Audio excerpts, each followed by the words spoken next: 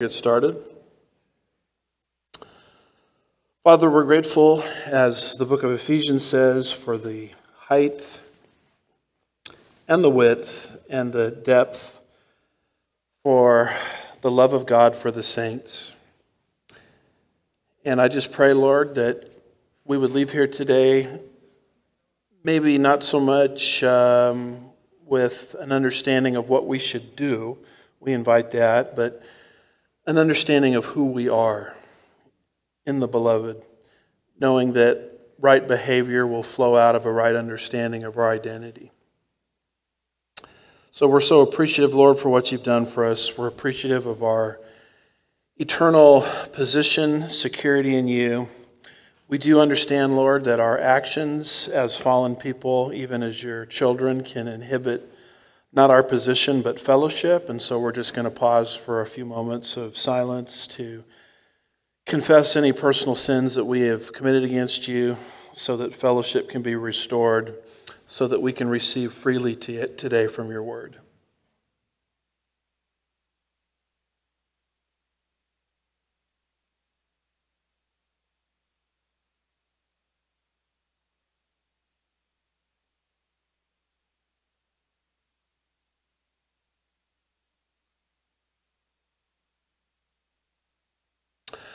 Lord, we're grateful for the promise of 1 John chapter 1 verse 9, which the promise given there that broken fellowship can be restored. We're grateful for a completed canon of your word, where we have uh, um, in the Bible everything we need for all matters of faith and godliness. And we're also grateful for the ministry of the Holy Spirit whereby that canon of Scripture can be properly interpreted and understood by your people. So we do invite, Lord, today uh, the illuminating ministry of the Holy Spirit, uh, that we may leave here with better understanding, better equipped for the different battles that we find ourselves in. We'll be careful to give you all the praise and the glory. We ask these things in Jesus' name. And God's people said, Amen. Amen. Well, good morning, everybody happy uh, last Sunday in July.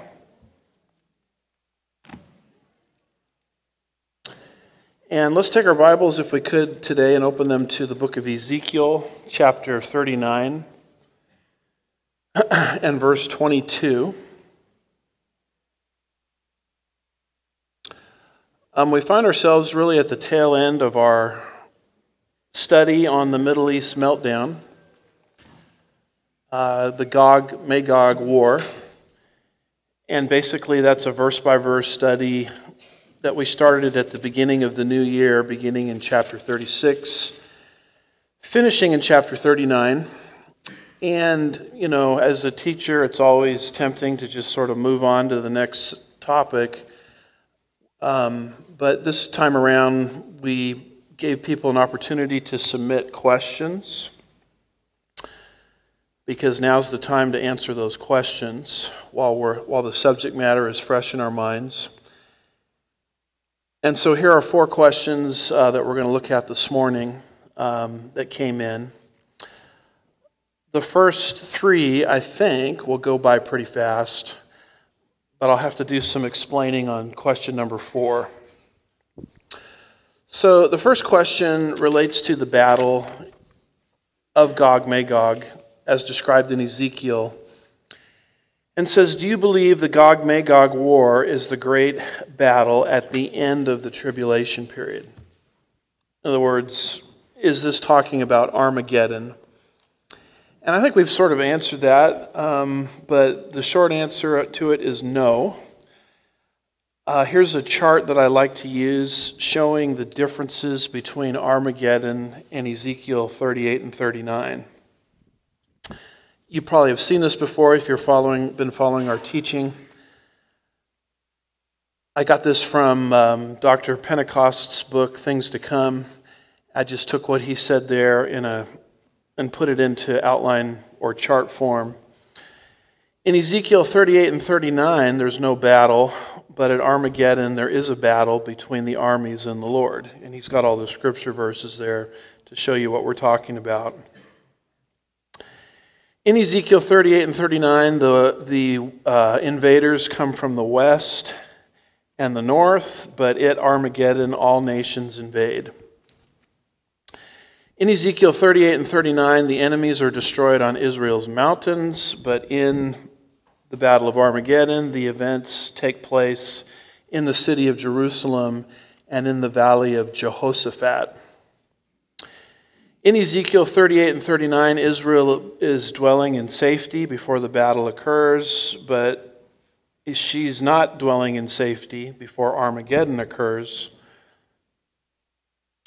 In Ezekiel 38 and 39, there is no description of a massive blood flow, but that is described with Armageddon, where the blood will flow from the horses uh, up to the horses' bridles for 200 miles. In Ezekiel 38 and 39, the fire comes upon the invaders. In Armageddon, the fire does not come on the invaders. So, to sort of make a long story short, the view that we that I have taken on Ezekiel 38 and 39 as I've tried to teach this is Ezekiel 38 is happening towards the beginning of the tribulation period, and it starts with the opening of the second seal judgment and then when you get to chapter 39, it sort of flash forwards to the very end of everything. All of the tribulation events, including Armageddon, and shows you the end result, which will be a converted Israel and the birds of prey gorging on the deceased corpses of the invaders. Um, so you know, to understand Armageddon and how that fits in, Ezekiel 38 and 39 is really not the place to do that. You have to consult other scripture. Like Joel 3, Zechariah 12, Zechariah 14, and Revelation 16. Second question is, and this is very important because there's a lot of confusion on this it says, if there are no prophecies to be fulfilled before the rapture, that's what we call the doctrine of imminency. In other words, the rapture can take place at any moment. The rapture could take place before this Sunday school lesson is over. And some of you are probably praying for that to happen.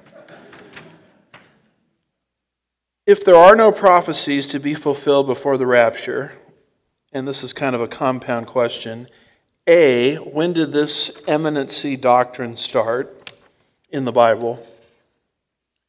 B, where does it say this in God's Word? C, what about Israel's return to the Promised Land?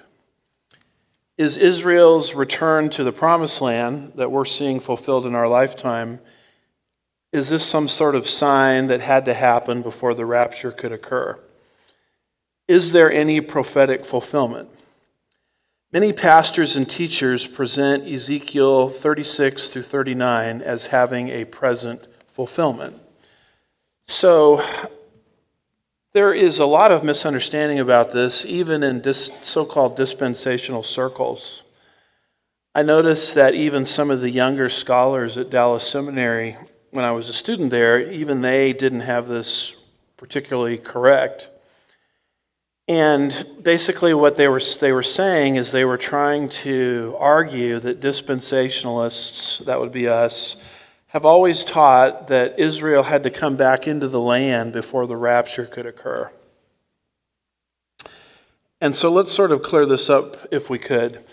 Notice, uh, if you will, John chapter 14, verses 1 through 4 which we believe is the first reference to the rapture of the whole church described anywhere in the Bible. It's what Jesus said to the disciples in the upper room as he was preparing them for the church age. He said in verses 1 through 4 Do not let your heart be troubled. Believe in God, believe also in me. In my Father's house are many dwelling places. If that were not so, I would have told you. For I go to prepare a place for you. If I go to prepare a place for you, I will come again and receive you to myself. That's the rapture. I will come again and receive you to myself, that where I am, there you may be also, and you know the way in which I'm going. Now, before you get to that statement in John chapter 14, verses 1 through 4, every reference to the return of Christ anywhere in the Bible prior to Jesus saying this is the, is the Lord Jesus is going to return at the end of the seven year tribulation period. His angels and his saints will be with him. His feet will actually touch down on planet Earth and he will rule the world for a thousand years with a rod of iron. So, that concept of the return of Christ is found in countless passages in the Old Testament. In fact, the very oldest book of the Bible, the book of Job, makes reference to this. In Job chapter 19, verse 25, he says, I know that my Redeemer lives the Hebrew therefore, redeemer is Goel. I know that my Goel lives. And in the end, he, my redeemer, in other words, will take his stand on the earth. So, beginning with that passage and every passage you can find in the Old Testament, and even in most of the Gospels for that matter, it describes the second advent. But you see, what's happening in the upper room is you have a scenario where the nation of Israel has rejected the offer of the kingdom. The kingdom's not going to come. There's going to be an age of kingdom postponement.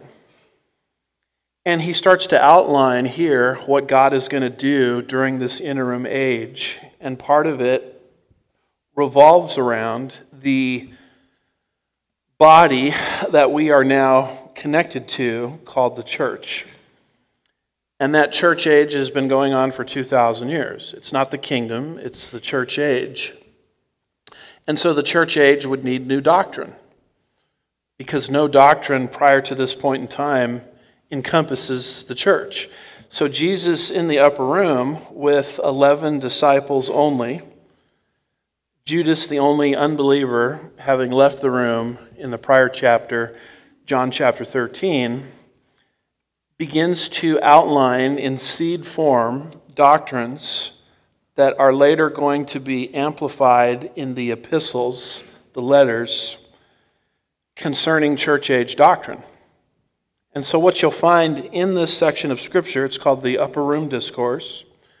It's called the Upper Room Discourse because he gave this conversation in the upper room. See how easy theology is? And in the upper room discourse, he's outlining the church age, and he's giving brand new truth that they've never heard before. And one of the things he starts to talk about in this conversation is how the church age is going to end. And he teaches them something completely and totally new here. He's not talking about the second advent, which will happen at the end of the tribulation period when he touches down on planet Earth.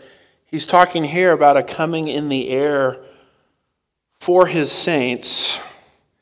And as they're caught up to join him in the air, they make an about face and they don't come to the earth to rule and reign, but they go to the Father's house, to places that he has prepared for us for seven years. Now, the Apostle Paul is going to be given the privilege of taking that seed truth and you know it's like um, it's like doing art. What jesus said there in john 14 1 through 4 is like the black and white picture. Paul's going to come along under the guidance of the holy spirit in 1 thessalonians 4 verses 13 through 18 and he's going to take out his colors and he's going to color the black and white picture not changing the black and white picture, but just adding greater detail. So, this right here, what he's saying, is the beginning of the, the truth of the rapture. It's describing how the church age is going to end with a return of Jesus to take us out of this world. It's a truth that was completely and totally foreign to them. They had never heard anything like this before because all they knew is Jesus returning at the end of the seven years to launch his thousand year kingdom. This is something different. So, in the process of unfolding this truth, he says, If I go and prepare a place for you, I will come again and receive you to myself, that where I am, you may be also. Now, in the series we did prior to this one on the doctrine of the rapture, we have about three specific, if memory serves, lessons just on these four verses because they're that important. So if you really want to dial down onto this, we recommend those three lessons in our Rapture series. But you notice what Jesus says. He says, I'm going to come again and receive you to myself. He doesn't give any sign that has to happen first before he comes again to receive us to himself. He doesn't say, okay, um, keep your eye on the World Economic Forum and Klaus Schwab because they're going to be pushing one world government, and then I'm going to come back and get you. Uh, keep your eye on your cash because your cash is going to disappear and you're going to move into a cashless society. And then I'm going to come back and receive you. Uh, keep your eye on Russia and Persia and Turkey because they're going to invade the land of Israel in the last days. And then I'm going to come and receive you. He gives absolutely no sign at all. And when he gave no sign prior to this event, he was telling them that this could happen at any second. And this is a doctrine that we call the imminency of the rapture. And it began to take hold the moment in Acts chapter 1 he ascended back to the Father's right hand. The moment that happened, and the church was born in Acts 2, at any second the rapture could occur. Now, he did make some other types of predictions, like he said, you know, Peter, when you were young, you know, you dressed yourself, you went where you wanted. When you're old, they're going to take you to where you do not want to go. In John 21, referring to the martyrdom of Peter, how Peter would die. But when Jesus made those kinds of things, he wasn't denying the imminency of the rapture. What he was saying was, if I don't come and get you, Peter, this is what's going to happen to you. So if A doesn't happen, B will happen. And that's how to put the rapture together with some of Christ's short term predictions. So, the doctrine of the imminency of the rapture is a concept that started at the beginning of the church age, and it took foothold immediately when Jesus ascended and went back to the Father's right hand and gave to the church the Holy Spirit, Acts 2, including the gifts of the Holy Spirit. So, in our rapture teaching, you know, we've gone through all of the different passages that teach this. I have them underlined there. We won't look at all of them, but here are very clear imminency uh, verses. They never present the coming of the Lord in the rapture as contingent upon some event that has to happen first. You'll see it in James chapter 5 verse 8. You'll see the doctrine in 1 Thessalonians 1 verse 10. You'll see the doctrine in 1 Corinthians chapter 1 verse 7. You'll see the doctrine in Philippians chapter 3 verse 20. You know, I've used this analogy before. It's kind of a corny one, but it, you know, helps us understand it. It's like those um, plastic balls that kids play with that are wrapped in that uh, black stuff. What's that black stuff around it called? Where it allows you to stick to walls. Velcro, there we go. Um, so you have this little plastic ball, and it's wrapped in Velcro, and you just kind of throw it up on the ceiling, and it sticks there.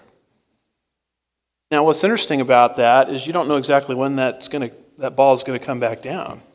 I mean, maybe it's going to be there for five minutes, maybe it's going to be there for 30 seconds, maybe it's going to be there for a month, a week, a year. But at any moment, that ball will come down. And that's how the Lord has wanted the rapture to be understood by every Christian generation going back 2,000 years. And the reason he wants us to understand this is the truth of the matter is we live differently, don't we? When we think he can come at any moment. It's like your boss, you're at work, and your boss says, I'm leaving for two months. Um, we know how that will probably end. You kind of slack off for two months and then get back things back together when the two month period's over or getting close.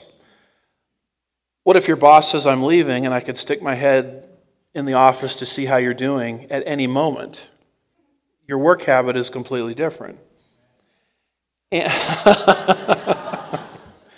And, the truth of the matter is, the Lord gave us the doctrine of the imminency of the rapture because he knew the stimulus that it would provide for holy living. Everywhere the doctrine of the rapture is taught, and for years and years and years, I'm a member of the pre trib study group. I heard Tim LaHaye say this. He said it every single year while he was alive. Um, I've been going to that group since um, 9 11. And he would get up and he would say, Everywhere the doctrine of the rapture and it's the imminent, any moment appearance of Christ is taught, there's always a greater level of Christian urgency, Christian evangelism, Christian holy living. And he says, just keep that in mind as all of these scholars get up here and read their papers. This is not just, you know, pie in the sky stuff we're trying to defend. This has a real world implication for God's church. And I believe very much that this is why Satan is trying to destroy this doctrine. He's tried to destroy it for 2,000 years. And all you have to do is spend a little time online, and you see entire so called ministries devoted to debunking, as they call it, the any moment appearance of Jesus for his church. That, by the way, is why we believe the rapture has to take place before the tribulation starts. Because if you put the rapture in the middle of the tribulation, end of the tribulation, three quarters into the tribulation, and you ask such people arguing that way, can Jesus come back today? They always say no. Now, the late uh, Dr. John Walvoord, one of the greatest um, defenders of the doctrine that we're describing here, the rapture of the church, in his office at Dallas Seminary, had a plaque on his wall, and it said, Perhaps today. And only a person that's pre tribulational can believe that. You ask uh, someone that thinks the rapture is going to happen in the middle of the tribulation period, the plaque would have to read perhaps in 42 months or more, or perhaps in seven years or more, or perhaps in three quarters of the tribulation or more. Pre tribulationalism is the only doctrine in the landscape of competing views which teaches that Jesus Christ can come back at any moment, which means we need to be ready all of the time because he can come back at any time. Amen? Paul himself in 1 Thessalonians 4, verse 15, obviously believed this. Because he says, For this we say to you by the word of the Lord. Now, what word of the Lord would that be? Would that be some kind of private vision that he received from God? Could be. But I think the word of the Lord is John 14, 1 through 4. So Paul is not creating a brand new doctrine here. He's saying, I'm going to tell you something that Jesus already communicated to his disciples in the upper room. He says, For this we say to you by the word of the Lord, that we, he put himself in the category, we who are alive and remain until the coming of the Lord will not precede those who have fallen asleep. And this is where he goes on and he talks about the harpazo that we will be caught up. And when he says we, he's saying this could happen in my lifetime. This could happen to me. And when he said we, he didn't say, okay, here's five signs that have to happen first before the rapture. Jesus never taught it that way, nor did Paul. Paul also in 1 Corinthians 15, verse 51, another rapture passage, says, Behold, I tell you a mystery. We will not all sleep, but we will be changed.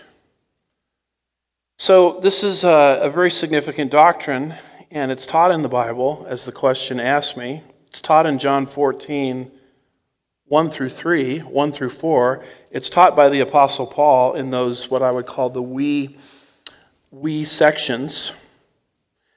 So there is absolutely nothing that has to take place before the rapture can occur.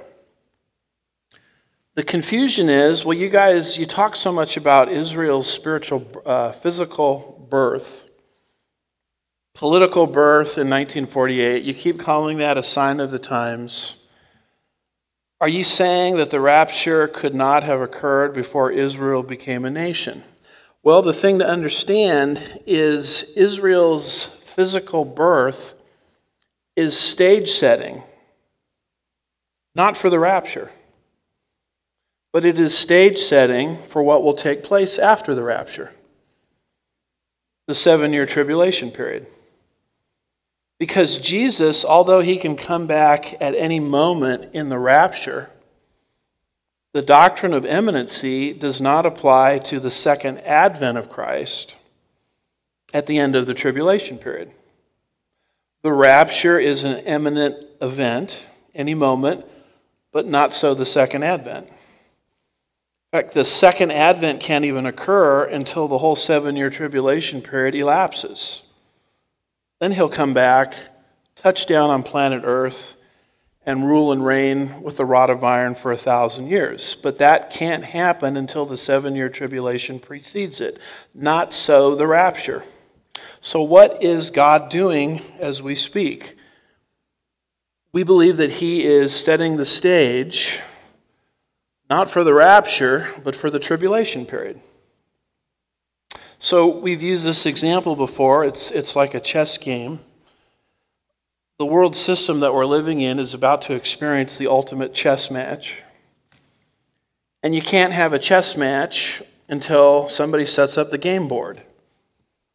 And somebody has to take the board out of the box, put it on the table, assemble the pieces. The players have to take their respective positions opposite side of the table. Even before that happens, someone has to put two chairs on the opposite side of the table. And only when the stage is set can you say to yourself, is a chess match ready to begin? So, what we would understand as the rebirth of Israel is not a sign for the rapture, but it is a sign that has to be in place for the seven year tribulation period to start. Now, this idea of God setting the stage for prophetic events like He is today through the tribulation period should not be shocking to you at all. Because this is exactly what God did for the first coming of Christ. Galatians chapter 4, verse 4 of the first coming of Christ says, But when the fullness of time came, God sent forth his son, born of a woman, born under law. You'll notice there that Jesus Christ, in his first coming, could not have been dropped into human history at any old time. He had to be dropped into human history at a specific time. And there are many things that God was doing in the world to set the stage for the first coming of Christ before Jesus was ever born into our world. One of the things he did through Alexander the Great, going back to the 300s roughly BC, is Alexander the Great spread the Greek language all over the known world. And if you know anything about the Greek language, you know that it's one of the fullest dialects that's ever come to humanity. There is one word for love in English. The Greeks had four words. There's a, a, a storgis, relational love, uh, Leo, brotherly love, eros, uh, romantic love, and then there's agape, selfless sacrificial love. And so when it says in John 3, verse 16, For God so loved the world that he gave his only begotten Son, etc., it uses the word agape. And a Greek speaker could pick up on that and say, Wow, God really loves us at the highest level. That type of communication would not exist without the Greek language. So, God, through Alexander the Great, allowed the right language to be put into place before Jesus ever showed up to record the revelation of God's Son.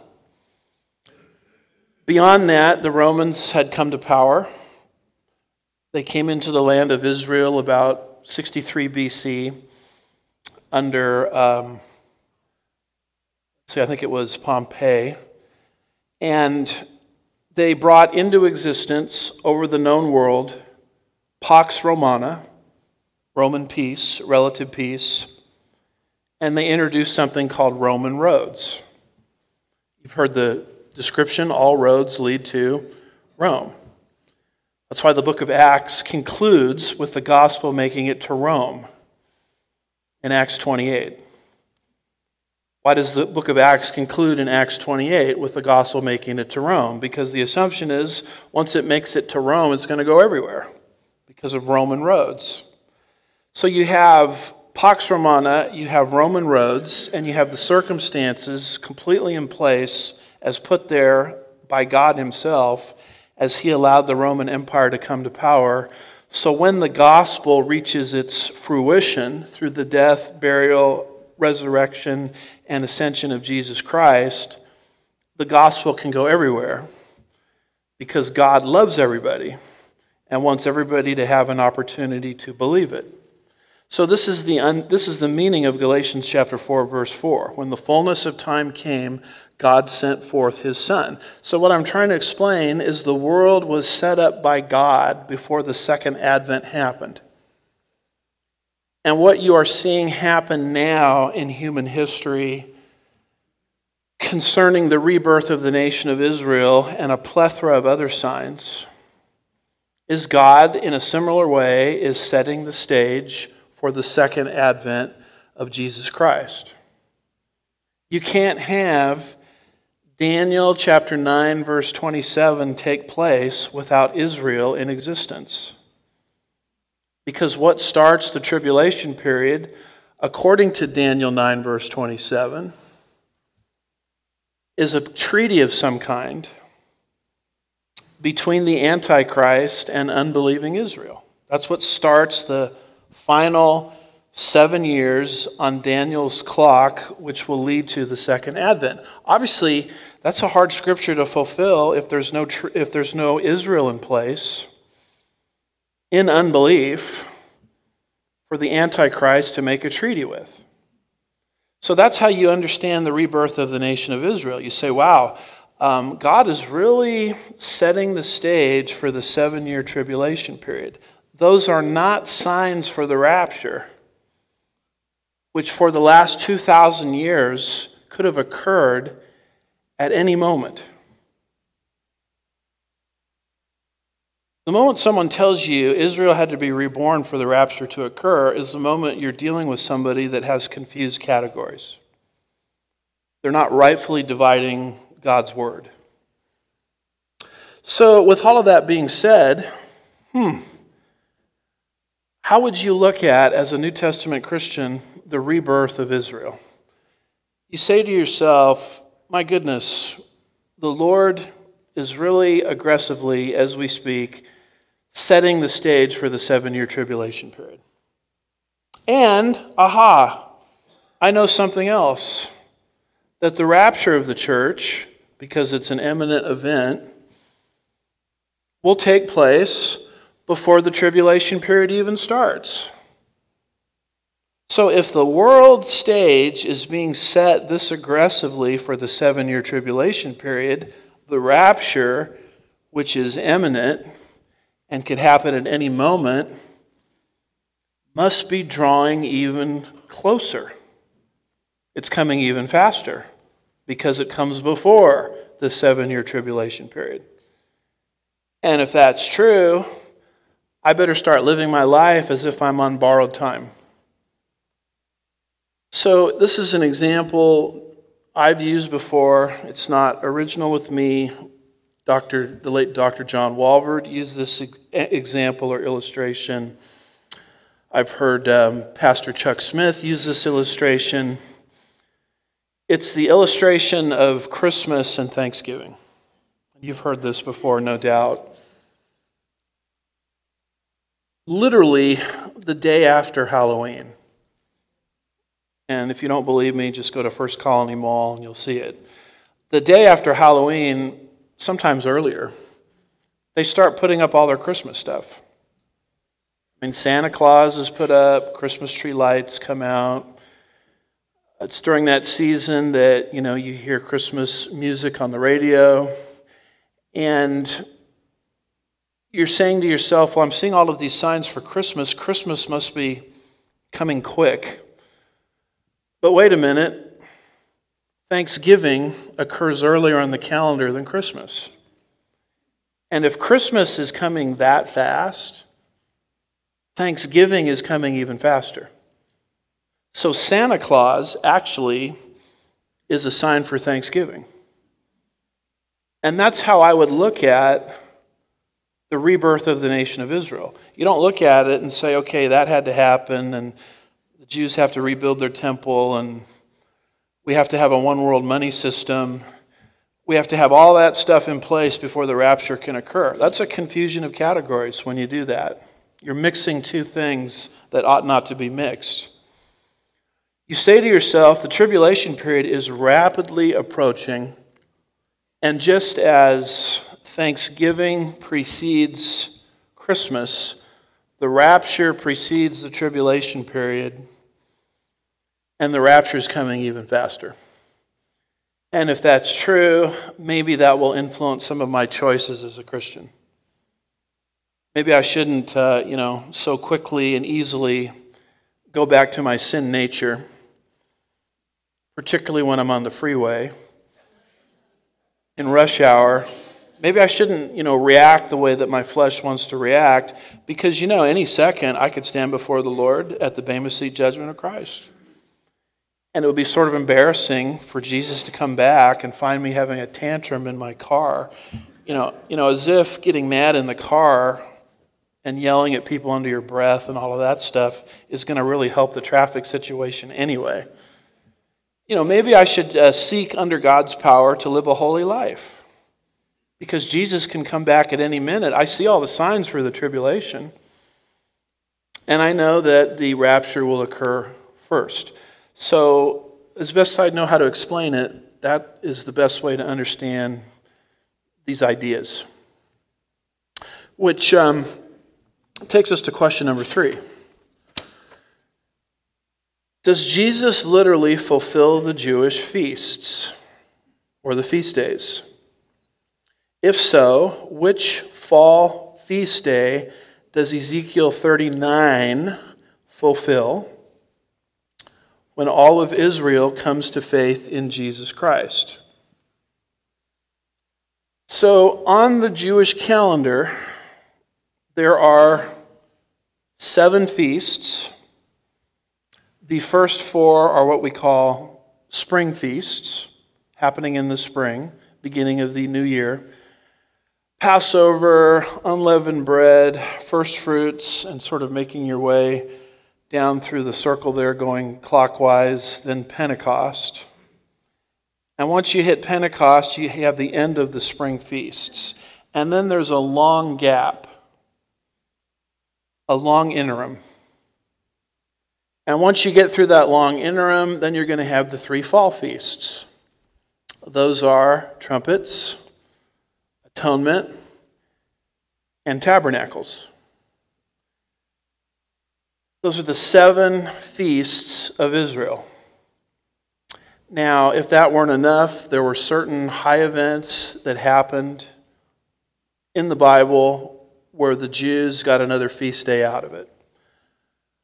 One of them is called Purim, lots, celebrating the miraculous deliverance of the nation of Israel from the diabolical plans of Haman in the book of Esther. And when that happened, a brand new feast came out of it called Purim. And then between the Testaments, there was a very significant event that took place where the Jewish nation liberated their temple from Seleucid rule and rededicated it. That's called Hanukkah. And so Hanukkah, Feast of Lights, dedication, was added to the Jewish calendar. So, seven feasts initially, as biblical history began to elapse more, nine feasts in totality. And God outlined those seven feasts for Israel. This has nothing to do with the church. Because when God gave these feasts, he was giving them specifically to the nation. The church didn't even exist yet. He outlined these feasts at Mount Sinai in the Mosaic Law, and you'll find a description of them in Leviticus chapter 23. The fall or the first four spring feasts are Passover, unleavened bread, first fruits, and Pentecost. Then a long interim in the calendar. And then you'll have the three fall feasts trumpets, atonement, and booths. Now, what you have to understand about those seven feasts is they all point to Jesus. The first four spring feasts point to his first coming. The remaining three fall feasts point to his second coming.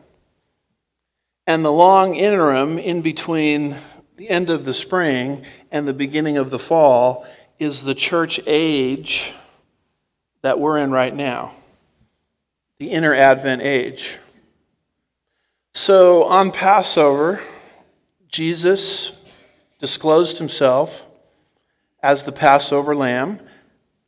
It's a feast that is speaking of his redemption that he would accomplish for humanity. 1 Corinthians chapter 5 verse 7 Passover points to the redemption of Christ. Then there was another feast that took place right after Passover on the Jewish calendar called unleavened bread where the nation of Israel when they were released from Pharaoh in the book of Exodus was told You've been here for 430 years, but you got to get out right now.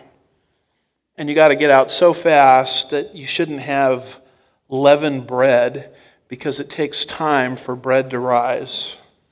And so unleavened bread became a symbol within the nation of Israel, of Israel leaving Egypt. It's kind of a type, if you will, of the believer's sanctification. And Jesus claimed to be a fulfillment of that feast in John chapter 6, verse 35, where he called himself the bread of life. The next spring feast is first fruits. That has to do with the celebration of the initial crop that comes in. And it was a happy time in the Israeli harvest cycle because if the first crop came in then it guaranteed the rest of the crop. And that speaks of 1 Corinthians 15, verse 20, and verse 23 of the resurrection of Jesus from the dead. He specifically calls, Paul does, Christ's resurrection first fruits. Because if Jesus rose from the dead, then who else is going to rise from the dead? Everyone else. Just like the first fruits of the harvest guaranteed the rest of the harvest, the bodily resurrection of Jesus guarantees the fact that we too, in God's time, will be resurrected. Then there is a long, oh, we forgot Pentecost, didn't we? The fourth spring feast. That's the full harvest celebration. And that's the pouring out of the Holy Spirit on the Jewish remnant and that's the beginning, actually, of the church age, Acts 2, verses 1 through 4. But that pouring out of the Holy Spirit actually was given to rebuke unbelieving Israel because unbelieving Israel at that particular point in time was attributing the work of God, like tongues, for example, to drunkenness. And no, it wasn't drunkenness, it was a manifestation of the Holy Spirit. So you have Passover fulfilled in 1 Corinthians 5, verse 7, as the Passover lamb, Jesus Christ. You can also toss in there John 1, verse 29. The Feast of Unleavened Bread pointed to Jesus as the bread of life. John 6, verse 35. First fruits points to his resurrection and Pentecost points to the giving of the fullness of the Holy Spirit. Then there's a long gap, just like the calendar. It's a long time between the end of the last spring feast and the beginning of the first fall feast. Now, what is happening during that long gap of time? That's us. That's the church age, a mystery where God today is not building his kingdom, he's building his body the body of Christ, which is going to be, as we saw earlier, supernaturally removed from the world through the rapture at a specific point in time. And then, subsequent to the rapture, God is going to put his hand right back on Israel. And just as he fulfilled for Israel the first four fall feasts, he's going to fulfill for Israel the remaining three spring feasts. I think I had that backwards, didn't I? Let me say that again. Just as he fulfilled for Israel the first four spring feasts, I get that right? He's going to put his hand back on Israel and fulfill for Israel the remaining three fall feasts. So, on the Feast of Trumpets, what will be fulfilled is Matthew 24, verse 31, where Jesus will blow a trumpet the angel actually will blow a trumpet. In fact, to be honest with you, I can't remember if Jesus blows that trumpet or angel blows that trumpet. So when worse comes to worse, you actually have to open your Bible and read it. Amen? He will send forth his angels with a great trumpet. There we go. And they will gather together his elect. Who are the elect? Israel from the four winds from one end of the sky to the other. So on trumpets, all of the Jews who are persecuted by the Antichrist will be regathered in preparation for the kingdom. This is not a vertical gathering, as is the case with the rapture. This is a horizontal gathering. And on atonement, he will fulfill Zechariah 12, verse 10 which is the conversion of the nation of Israel. And then in the Feast of Booths, Zechariah 14, verses 16 through 18, that will be fulfilled during the millennial kingdom. So the question is concerning Ezekiel chapters 38 and 39, are Ezekiel chapters 38 and 39 going to take place on a feast day? No, if you're talking about chapter 38. Yes, if you are talking about chapter 39. Because Ezekiel chapter 39, verse 22 and verse 29 speaks of the conversion of Israel. And we can see from our chart here that the conversion of Israel is what is typified in atonement. So Charles Feinberg says of Ezekiel 39, not 38, 39. Verses 25 through 29 teach the complete return of Israel, and that will occur after the defeat of Gog and his confederates. Ezekiel summarized his prophecies of hope and restoration. What he stated, and this is in the very last verse of the chapter, Ezekiel 39.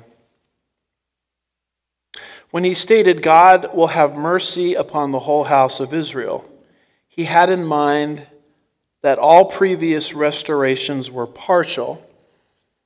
Now, a universal and final restoration will take place.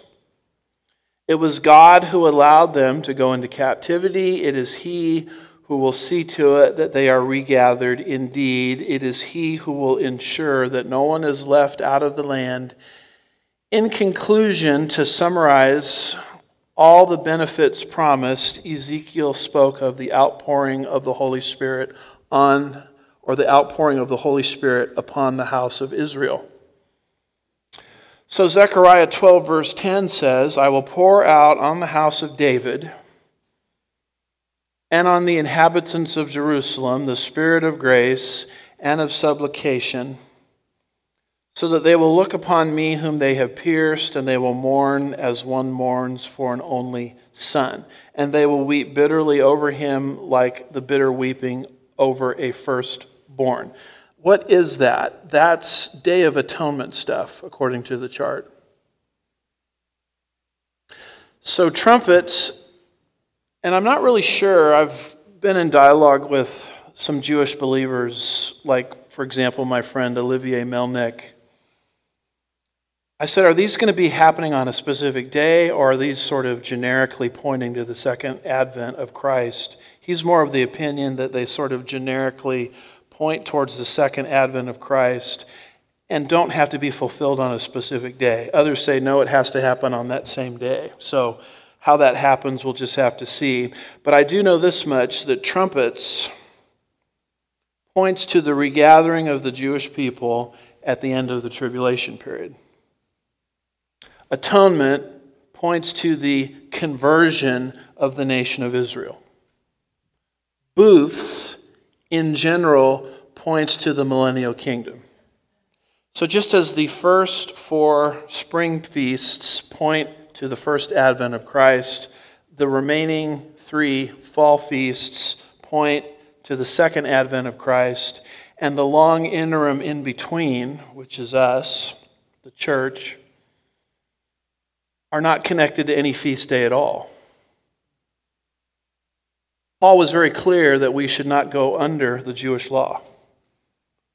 Um, he was very clear that we should not get wrapped up in celebrating particular Jewish feasts if we think that that's going to somehow contribute to our salvation, justification, or progressive sanctification. Now, I'm in favor of kind of doing Bible studies so that we appreciate these Jewish feasts. But here at Sugar Land Bible Church, we do not demand people go under this in a compulsory sense for growth in Christ. But we do think there's value in studying these feasts because when you study them out very carefully, they point to either the first coming of Christ, the four spring feasts, and the second advent of Christ the remaining three fall feasts. And if you're going to put Ezekiel 39 into any of these feasts, because the end game of Ezekiel 39 is the conversion of Israel, I would put Ezekiel 39 into atonement because that speaks to the future conversion uh, of the nation of Israel. So I hope that helps um, at least a little bit. All right, here we go. Fasten your seatbelts. We're about to enter turbulence. Um, a lot of the questions that I received on Ezekiel 38 and 39 deals with a collection of prophecies that I call, or not I, but this is the name people give to them they're called either the first prophecies, the now prophecies, or the next prophecies. In other words, a number of teachers out there are going to God's Word beyond Ezekiel 38 and 39. And they're going to prophecies that, quite frankly, as you study them, and I'll, I'll show you proof of this as we go, these prophecies have been fulfilled for a long time. But what they're doing now, and it's sort of a new movement, I guess this started maybe 10, 15 years ago, is they're going to these prophecies and they're basically trying to argue that there's something that's going to happen first before the tribulation starts. There's something that's going to happen first before the Gog Magog war. Now, they're generally careful enough not to say these have to happen before the rapture, because if they do that, they are denying imminency. But what is happening today is you go to prophecy conferences and people aren't really interested as much in Ezekiel 38 and 39 anymore, which is where I think the main action is today. I mean, God today is, of all the prophecies in the Bible, He's setting the stage aggressively for Ezekiel 38 and 39. But you go to these some of their conferences and you read some of their books and they say, "Ah, that's old stuff." You need to be aware of the first prophecies. The next prophecies. The now prophecies. So these are prophecies that are supposed to happen like, you know, next week as they talk. And here are the areas that they go to. Let me show you where I'm drawing my material from because I don't know of a book that does a better job analyzing these than this book. It's uh, by my friend Mark Hitchcock. It's a 2020 book. It's called Showdown with Iran. And it's a wonderful book on Iran and where Iran fits into Bible prophecy Ezekiel 38 and 39.